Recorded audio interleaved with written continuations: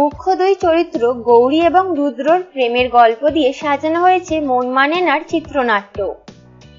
রাগী ছেলে এবং শান্তমের প্রেম নিয়ে আসছে নতুন ধারাবাহিক। পল্লবী দে এবং শ্যাম। মডেলিং দিয়ে কেরিয়ার শুরু করেছিলেন শ্যাম। ব্যক্তিগত সম্পর্কে অভিনেতা জন ভট্টাচার্যের ভাই তিনি। আসন্ন ধারাবাহিক মন মানে নার মুখ্য চরিত্রে অভিনয় করবেন তিনি।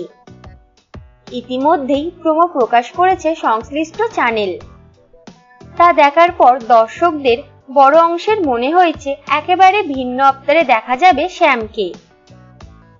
এই ধারাবাহিকের শ্যামের বিপরীতে রয়েছেন পল্লবী দে। রেশম ঝাপি, কুঞ্জ ছায়া, আমি সিরাজের বেগমের মতো ধারাবাহিকে এর আগে পল্লবীর অভিনয় দেখেছেন দর্শক। কমেডি ড্রামা সরস্বতীর প্রেমেও তার অভিনয় প্রশংসিত হয়েছিল। এবার তাকে প্রতিদিন দেখা যাবে এই নতুন ধারাবাহিকে। মুখ্য দুই চরিত্র গৌরী এবং রুদ্রের প্রেমের গল্প দিয়ে সাজানো হয়েছে মন মানেনার চিত্রনাট্য। ছেলেটি সেইভাবে পড়াশোনার সুযোগ পায়নি। স্বভাবে রাগী। মেয়েটি শিক্ষিত। তার নিজস্ব কিছু মূল্যবোধ রয়েছে। শান্ত স্বভাবের এই মেয়েটির সঙ্গে সম্পর্ক তৈরি হবে ছেলেটির। বহুদিন পরে এই ধারাবাহিকের মাধ্যমেই টেলিভিশনে ফিরছেন অভিনেত্রী অঞ্জনা বসু। মূল নেগেটিভ চরিত্রে দেখা যাবে তার অভিনয়।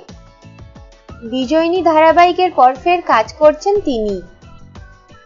মন মানে না টাইটেল ট্র্যাক তৈরি করেছেন জিৎ গঙ্গোপাধ্যায়।